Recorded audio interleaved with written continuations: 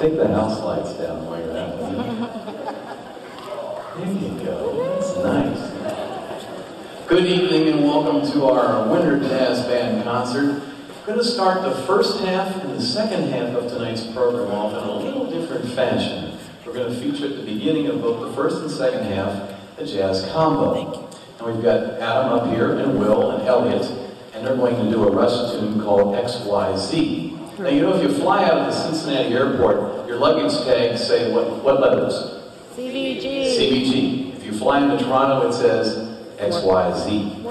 Now, Adam tells me also that it's kind of clever in the fact that if you would take the Morse code equivalency to these three letters and, you, and using the dot and dash system, that the rhythm that would be implied through those, those particular letters is actually played throughout this version of X, Y, Z. Gentlemen, take it away.